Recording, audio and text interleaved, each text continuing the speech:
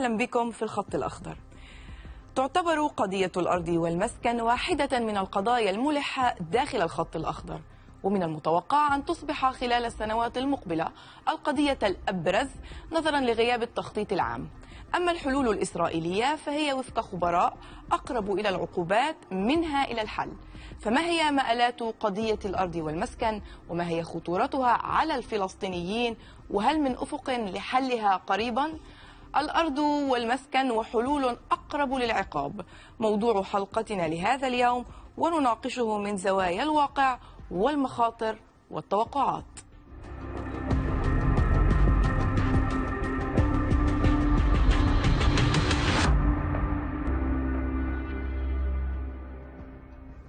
لنقاش هذه المواضيع وما تحيل إليه. أرحب بضيفي هنا في استوديو السيد أحمد ملحم رئيس اللجنة الشعبية للدفاع عن الأرض والمسكن ومحمد وتد الصحفي المختص في الشأن الإسرائيلي. أهلا بكما. أهلا بك. آه، قبل أن نبدأ نقاشنا نشاهد التقرير الآتي الذي يستعرض أبرز وجوه أزمة الأرض والمسكن. تختصر السلطات الإسرائيلية مشكلة الأرض والمسكن داخل الخط الأخضر بأزمة البناء غير المرخص بدلا من المشكلة الأساس وهي غياب مخططات رسمية للبناء داخل البلدات العربية وتجاهل تام لتوسيع المسطحات والأراضي الصالحة للبناء بهذه البلدات. ويواجه المواطنون العرب داخل الخط الأخضر سياسة هدم البيوت من قبل السلطات الإسرائيلية وهي سياسة من المتوقع أن تزداد سوءا وحدة خلال السنوات المقبلة بسبب دخول قانون كامينتس حيز التنفيذ وهو قانون يهدد خمسين ألف بيت عربي ويسعى إلى تقليص دور المحاكم في قضايا البناء غير المرخص وقصر الأمر على الإجراءات الإدارية ورفع سقف الغرامات إلى قرابة تسعين ألف دولار وعلى مدى سنوات تجاهلت السلطات الإسرائيلية أزمة الأرض والمسكن في البلدات العربية ما ساهم في تفاقمها غير أنها عندما قدمت حلولا حرصت على إعادة هيكلة في نمط وأسلوب الحياة والسكن العربي بشكل مباشر وفعال لأنها تعتبر ما سمتها ثقافة سكن العرب هي المشكلة وبالتالي عملت على تغييرها من خلال طرح الخطة 922 التي تسعى إلى تكريس البناء المكثف ومتعدد الطوابق على الأراضي الخاصة في مسارات ومساقات تخطيط سريعة ومركزة بأيدي الدولة ما يعني تغييرا واسعا في هيكلية وبنية البلدات العربية أهلا بكما مجددا سيد أحمد لم يبقى لإسرائيل أراضي فلسطينية تقريبا للمصادرة كيف استطاعت مصادرة هذا الكم الهائل من الأراضي؟ بقي واحد في المية في ملكية عربية وإسرائيل تطمع لأن تصادر هذه النسبة الضئيلة من أصل ثلاثة ونصف في المية ما تبقى لدينا آه، من ملكية خاصة في هذه البلاد. يعني المواطنين الفلسطينيين باتوا يمتلكون فقط ثلاثة ونصف في المية اثنين ونصف منها تحت آه، إدارة السلطات المحلية وواحد معرض للنهش ومعرض للمصادرة بمشاريع جهنمية.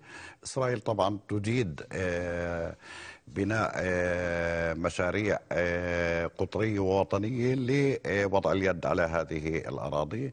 وأنا أتحدث عن كثير من المشاريع الوطنية مثل شوارع رئيسية مثل خطط سكك حديد تمرير خطوط غاز وبناء مدن.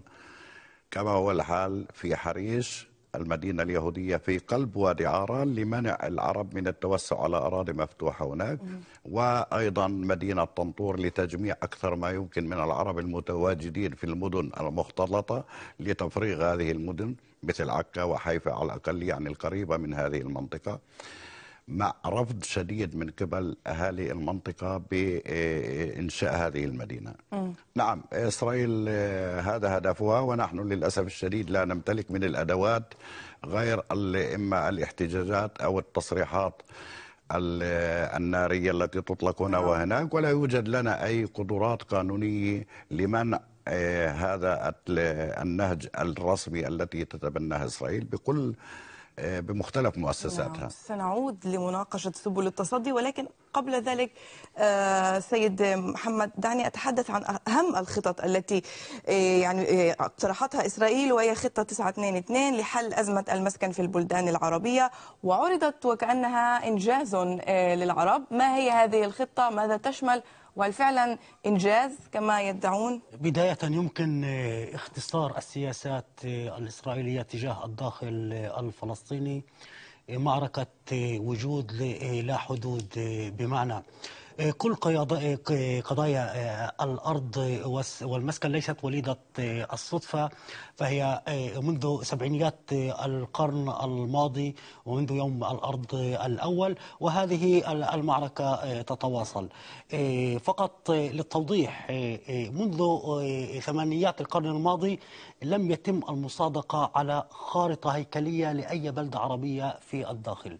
ما تم المصادقة عليه هو خرائط مفصلة. بمعنى مناطق تتواجد بها إيه، إيه، بناء بناء لا أقول بناء إيه، إيه، غير مرخص بناء إيه، ترفض إسرائيل أن ترخ- ترخصه وقد خلق إيه، إيه، واقع إيه، وحقائق إيه، على الأرض. وبالتالي يعني تم ضم هذه ال- الأحياء إلى نفوذ ال- البلدات العربية.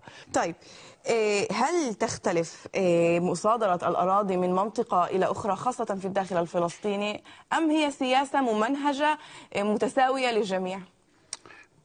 يعني بحذر أقول قد تختلف ما بين المثلث والجليل عن النقب حيث هنالك تجريف آه، مجمعات سكنية بكاملها آه، الإجهاز على قرى كبيرة ومحاولة تجميعهم في بلدة أو اثنتين أو ثلاث لوضع اليد على حوالي 800 ألف دنم في النقب لوحده. فهنالك هيئة أقيمت هيئة خصيصا لمتابعة هذه القضية ومن خلال وعملت من خلال وزارة الزراعة الذي يتراسى أرييل آه، أحد المستوطنين وهو عضو الكنيست ووزير آه، نعم هنالك نهج ولكن في المثلث والنقب يعني اليوم نتحدث عن مصادرات. أنا قلت يعني لم يتبقى الشيء الكثير من ما يعني واحد بالمية يعني لأصحاب الأرض الأصليين. طبعا يعني هي آه، لسه يعني ما ذكره الأخ محمد بلاد الروحة ما سميت وعرفت ببلاد الروحة. نتحدث عن منطقة جغرافية رحل منها حوالي 54 قرية. كبيرة. يعني اليوم لو بقي هؤلاء الناس على هذه الأرض اليوم كان عدد تعدادهم يفوق ال 700 ألف نسمي قسم منهم حوالي 300 ألف لاجئ موجود في القرى والمدن القريبة وهم ما يعرف بالحاضر الغائب. هذه هذا النهج موجود. إحنا اكتشفنا إيه، ال- الأمر وخطورته في مرحلة متأخرة نعم في سنوات السبعين حيث قامت إيه، حينها عملية يوم الأرض. كنا نعتقد أن هنالك فعلا أنظمة عربية قد تحمي هذا المجتمع الذي تبقى هنا. وكنا نتخيل أن الجامعة العربية تعرف ما هم عرب ال 48 أو عرب الداخل أو عرب إسرائيل سموهم كيفما شئتم أو فلسطيني الداخل. ولكن اتضح أننا نلعب في ملعب لوحدنا في يعني بين فكي الوحش الذي جاء لمصادرة الأرض ووضعها. وأنا أقول لك هنالك تخطيطات على أرض فلسطين منذ سنة 1886 وضع أول مخطط لمسح إيه،. أراضي فلسطين من قبل منظمة يهودية التي عرفت بالصندوق أقامت صندوق قومي حينها في بريطانيا. الصندوق الإسرائيلي لمسح أراضي فلسطين. من هناك بدأت يعني يوجد م- مؤسسات تعني في هذا في هذه ف- المفاوضات آه، في السياسات آه، نحن بحكم القانون خضعنا لأن نحترم القانون الإسرائيلي والسلك القضائي وتبين أن السلك القضائي ربما، نعم. هو أحد المؤسسات الذي جاء ليدعم سياسات الدولة في المصادرات وفي هدم البيوت. اليوم يعني السنة وشرعنا قبل آه، أقل من سنة قانون ما يعرف بقانون كيمينيتس. وهذا سيدفعني إلى سؤالي الآخر. ما هو هذا القانون والذي على ما يبدو يسرع عملية هدم آه، البيوت هدم ما تبقى من بيوت الفلسطينيين ومصادرة ما تبقى من أراضي للشعب الفلسطيني في الداخل؟ يعني بداية أنا أستبعد أن تقوم المؤسسة الإسرائيلية بهدم 60 ألف منزل ترفض أن تصا- تصادق عليها. القانون في نهاية المطاف هو يعني يسلب المحاكم أي صلاحيات للتدخل بكل ما يتعلق بقضايا التنظيم والبناء ومنح التراخيص وتعجيل سواء الهدم أو حتى فرض غرامات مضاعفة على ال- ال- ال- المواطنين. إذا ما نظرنا إلى السياسة الإسرائيلية وإلى ال- العقلية الإسرائيلية بداية سبعينيات القرن الماضي أوامر عسكرية في الجليل المصادرة تبع ذلك في المثلث الشمالي وفي الروحة في ثمانينيات القرن الماضي واستمرارا في ال- النقب. هي ذات العقلية الإسرائيلية أوامر عسكرية ومن ثم تأتي وكذلك الأمر في الضفة الغربية ومن ثم تأتي ال- الجانب ال- ال- المدني. يعني هذا ال- القانون أو هذه القوانين التي شرعت مؤخرا تهدف في نهاية المطاف هي مساومة المواطن العربي بداية على منزله على أرضه وحتى ب- بمعنى عدم التفكير في حتى في ال- البناء للأزواج ال- ال- الشابة نتحدث عن 60 ألف منزل بدون ترفض إسرائيل ترخيصها. وفي المقابل هناك عشرات الألوف من الأزواج الشابة التي لا يوجد لها لديها ولكن هنا يحدث, يحدث أمر مثير. هذه الأزواج الشابة تخرج إلى المدن المختلطة. هل هذا ما تريده إسرائيل؟ أن تخرج أبداً. الأزواج الشابة إلى مدن أن تترك بلدانها وت- وتخرج إلى المدن السؤال, المختلطة؟ السؤال كم نسبة هؤلاء الشباب الذين يخرجون إلى البلدات اليهودية أو البلدات المختلطة؟ هي نسبة ضئيلة. أنت حتى وإن خرجت إلى هناك أنت تتفكك كمجتمع. بمعنى يعني هناك خصوصية للقرية العربية للمدينة العربية. هذا يساهم حتى بتشويه ال- النشء أنت عندما لا أقول أن تسكن في حيفا أن تسكن في مستوطنة كرميل حولت إلى مدينة أو أن تسكن اليوم في مستوطنة تباعا ستحول إلى مدينة حريش أنت يعني هناك جماعات سكانية متعددة الثقافات سواء اليهود سواء الحريديم سواء الروس وأنت كعربي. يعني أنت كعربي سيكون جارك بمعنى إذا وافق على أن تسكن لدي جارك ال- الحريدي أو جارك ال- ال- ال- ال- الروسي. وأنت هنا تفقد هويتك تخلق ال- الهوية الهوية العربية. طيب فقدنا ربما لم نفقد الهوية ولكن هناك من يق... من. من يقول أننا فقدنا المدينة العربية وفقدنا القرية العربية. لم تعد كما كانت في السابق. إلى أي مدى ترى هذا صحيحا؟ إيه، أعقب. طبعا. بعجالة أولا ليس هذا هدف إسرائيل أن نذهب ونتوجه إلى المدن اليهودية. هي ترفض رفض قاطع إشراك العرب في إيه، الحصول على شقق كما حصل في العفولي مظاهرات وإلغاء إيه، مناقصات كما يحصل في النصر العليا. لكن في حريش هناك إمكانية لأحياء أو أماكن بعض الأماكن والسماح للعرب السماح. لرجال أعمال بالبناء لا والاستثمار. بناء من أجل الاستثمار. ولكن عندما تذهب كمشروع أن تستوطن في حريش. هنالك من يعارض الفكرة وهنالك من عارض ونحن استصدرنا أمر قضائي بأن حر... بأن تكون حريش مدينة تستوعب جميع المواطنين وهذا ما حصل لأنها كانت يعني معدة لتوطين الحريديم فقط. وهذه قضية كبيرة. قانون القومية الذي صحيح. بناء نحن لا- مدن ولجان القبول في. لجان القبول لجان القبول في هنالك- مختلف هنالك- البلدات هنالك الإسرائيلية مدن عريقة فلسطينية ما زالت قائمة. اللد الرملي يافا حيفا عكا. ولكن هل تحمل مقومات المدينة؟ نعم هي مدن؟ عريقة ولكن إسرائيل حاولت بكل الوسائل إخراج العرب من هذه المدن والتضييق عليهم هنالك أحياء في اللد والرملي أيضا تتعرض لهدم آه، كثير من الأبنية عكا يعني لا تتيح الدولة لا تتيح لهم آه، ترميم بمنازلهم من أجل إخراجهم من هذا الحيز ولكن لا تتيح لهم السكن بكرميل إلا إذا كان الأمر أمر قضائي يعني ليس بالهين ولكن إسرائيل تعمل على آه، شغلتين. أولا تضييق إمكانية الحصول على قسائم بناء وهنالك إحصائيات تشير إلى أن أكثر من 130 ألف شاب بحاجة ل 200 متر لبناء مسكن وهي لا تتيح ذلك. الحل المقابل في المعادلة اللي من ذلك يطلع وهنالك عملية تهجير خارج البلاد للشباب ولل لا أتحدث. عن أزواج شابة يعني عند في الوسط العربي الشاب بيبني بيت وبعدين بيخطب أو بيتزوج فلا يوجد أي أفق تخطيطي والحصول على على الرغم من. ذلك يعني أنا أختلف مع إيه، الأستاذ. المقابل لا يوجد لا يوجد هذه العقلية ترد، لدى الشاب لدى. الشاب العربي نعم. بال- بالهجرة اللي ربما تذهب وتدرس. يكمل. في أوروبا هنالك, هنالك موقع يقول آه، حسب معطيات المعابر أن هنالك ما لا يقل عن 3500 إنسان خرج ولن يعود ولم يعد حتى الآن وربما لن يعود ورب هذه الأرقام آخذة بالتصاعد نحن لا غالبيتهم يدرسون في طيب. الجامعات الأوروبية نعم ولكن هناك يعني هناك شيء مهم موجودي وممنهجي وإسرائيل تقولها بالعلن اللي متضايق يطلع هذا ما نعم. تريد إسرائيل هناك لكن نقطة مهمة وهذا تحدثون. عنها وهي يعني النسيج الاجتماعي الفلسطيني كل هذا هذه الأزمة أزمة المسكن والأرض تؤثر على النسيج الاجتماعي الفلسطيني وعلى العائلة الفلسطينية وعلى بنية المجتمع الفل- الفلسطيني كيف تؤثر؟ يعني عندما آه، أنت كعائلة لا يوجد لديك أرض للبناء لا يوجد لديك آه، آه، مسكن تواجه قضية الهدم تواجه قضية الغرامات. اليوم الهم اليومي يكون آه، هم شخصي لك. كيف ستواجه آه، هذا هذه السياسات الإسرائيلية؟ يعني آه، كنت أوجه يعني أشبه واقع المجتمع الع- العربي. يعني هذه خيام ال- الاحتجاج هذا رك رك ركام الهدم في كل بلدة وفي كل مدينة عربية.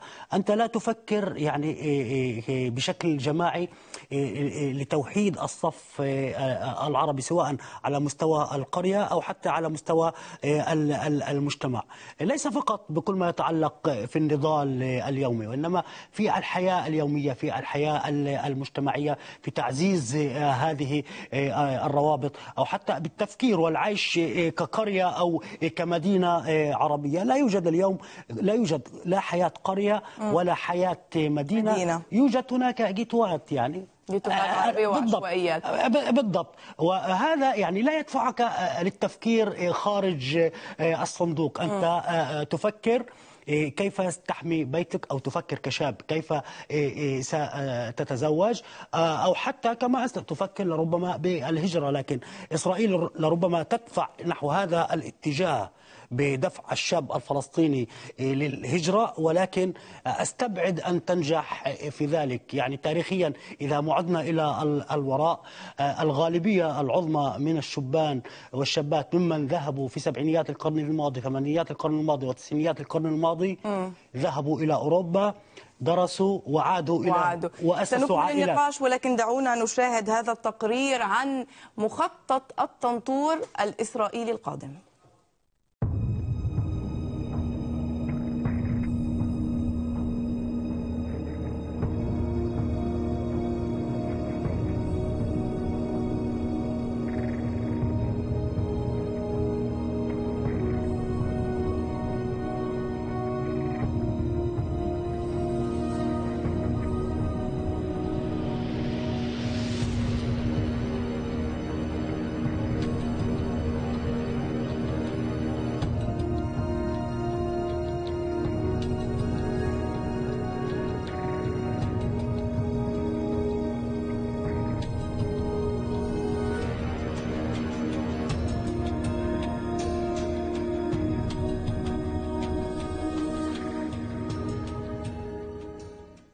لطالما طلب العرب في الداخل المدينة وها هي المدينة ولكن هنالك خطورة وراءها وهنالك أيضا نوايا خفية. ما هي هذه المدينة وما هو هذا المشروع؟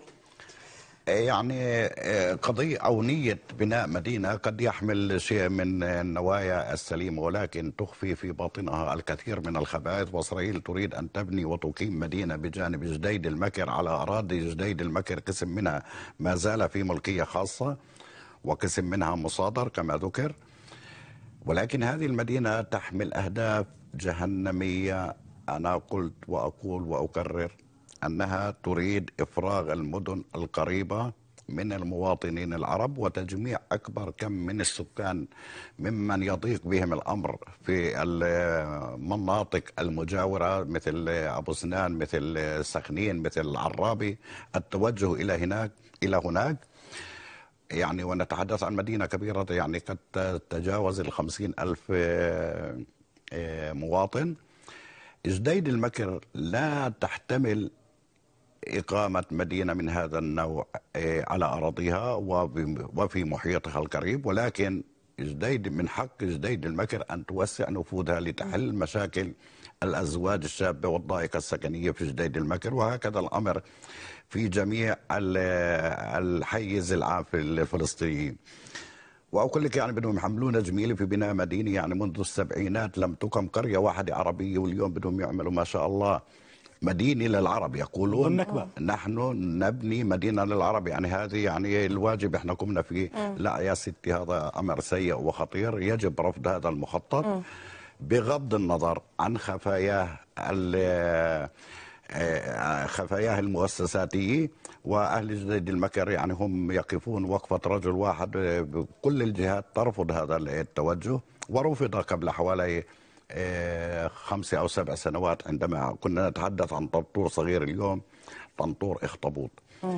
آه، أقول لك كمان معطى نعم هنالك سنة قانون كامينيتس لتنفيذ وتطبيق أوامر هدم قاسية بحق المواطنين العرب. من أجل القمع ليس إلا في حين أن هنالك 250 أمر هدم موجود في إسرائيل على مستوى الدولة 250 ألف أمر هدم. أمر ولكن سياسة أمر الهدم هدم. وتنفيذ آه، منها السياسة هذه. 240 ألف في المدن اليهودية والمستوطنات اليهودية. لكن عند اليهود يحدث شرعنة لهذه المباني وعند العرب يجب قمع هؤلاء السكان من أجل تضييق رقعة ال- السكن وتصغير مساحات السلطات المحلية. م- في مسمى ما يسمى الخرائط الهيكلية والخرائط الهيكلية للأسف هي مشروع دولة ليست مشروع ذاتي من قبل السلطات المحلية مبني على دراسات واحتياجات وحل المشاكل ال- الداخلية. إسرائيل ترسم الخط الأزرق ما يسمى الخط الأزرق المحيط لهذه الخرائط لمدة خطوط. 15 سنة ولكن بعد 15 سنة سنجد أنفسنا في وضع مزري وقاسي جدا لأنه لن يتم توسيع قرى ومسطحات سوف لن تبقى أرض طالما آه، يعني بقيت إسرائيل هكذا تفكر وهي ستستمر هكذا للأسف الشديد. هذا وضع الفلسطينيين. مم، طيب وهنالك معطى آخر. يوجد مليون مخالفة بناء في إسرائيل. مخالفة بناء على مستوى الدولي. منها مئة ألف لدى العرب وهذا أمر طبيعي يعني. مع العلم أن في الدولة بنيت مدن ومستوطنات ويوجد خرائط تفصيلية وهيكلية التي ولكن لا لا, لا تنتج نفس لم. يلتزموا طيب. بالتعليمات مع غيابها في الوسط العربي في الوسط العربي هي نتيجة آه، نهج م- منهج عنصري. متراكم هذا الذي وصلنا إليه طيب. على الدولة أن تشرعن ما هو موجود وتعطي وتتيح قبل- قبل أن تشرعن الدولة. المحلية نعم. لتقديم هذه الخدمات للمواطنين سيد آه، محمد قبل أن تشرعن آه، الدولة يوجد خطة 22 يوجد قانون كيمينيس يوجد مخطط الطنطور قانون القومية الكثير الكثير الكثير من القضايا والمشاكل. كيف يمكن كيف يمكن للفلسطينيين مواجهة كل هذه الممارسات؟ إذا ما نظرنا معنا في السياسات الإسرائيلية تجاه الداخل الفلسطيني هي ذات السياسات تجاه ال- ال- الشعب ال- الفلسطيني. يعني إسرائيل حاولت بعد أوسلو يعني سلخ الداخل الفلسطيني عن مجمل القضية الفلسطينية وإلى حد ما أخفقت في ذلك وفشلت في ذلك. واليوم تحاول تفكيك هذا المجتمع بالداخل. بمعنى ما سيحصل لابن الناصرة لابن أم الفحم سيكون مصيره مصير ابن رام الله ابن جنين ابن نابلس وحتى اللاجئ في مخيمات الشتات. لا يمكن عزل واقع اليوم واقع الداخل الفلسطيني عن القضية الفلسطينية. بحاجة يعني بحاجة أولا إلى إعادة النظر بكل ما يتعلق في التعامل مع هذه المؤسسة للعالم. نقول نحن نحمل الجنسية الإسرائيلية. إسرائيل تروج لذلك لديها مليون ونصف المليون عربي مليون فلسطيني يعيشون بسلام في هذه البلاد وهذا ليس صحيح على الإطلاق. باعتقادي يعني ليس فقط الداخل الفلسطيني ونحن بحاجة بأمس الحاجة إلى وحدة الحال وإنما كشعب فلسطيني لفضح هذه ال- السياسات ال- ال- الإسرائيلية. إسرائيل يعني ما بعد قانون القومية إلى حد ما كانت تعرف نفسها دولة إسرائيل ونتنياهو اليوم أسس لدولة اليهود. اليهود. دولة اليهود من البحر إلى الظهر وهناك ليس فقط مليون ونصف مليون فلسطيني في الداخل هناك ما يقارب أربعة ونصف مليون فلسطيني سواء في الداخل أو في آه، الضفة الغربية ولا ننسى آه، آه، غزة. باعتقادي يعني مستقبلا كافة القيادات الفلسطينية ستكون على قناعة. أنه لا بد من الحديث بلسان واحد خصوصا نحن عشية صفقة القرن. القرن. وصفقة القرن هي تصفية لل ما تبقى من الأراضي. ما تبقى من من القضية الفلسطينية. لا أقول الشعب طيب. الفلسطيني ونحن جزء أساسي بكل ما يتعلق بصفقة صفقة القرن. القرن. طيب طبعاً. سيد أحمد ملحم رئيس اللجنة الشعبية للدفاع عن الأرض والمسكن والصحفي المختص في الشأن الإسرائيلي محمد وتد. شكرا لكما. شكرا لكم. إلى هنا أعزائي المشاهدين وصلنا إلى ختام هذه الحلقة. إلى اللقاء في حلقة أخرى وزاوية أخرى من الخط الأخضر.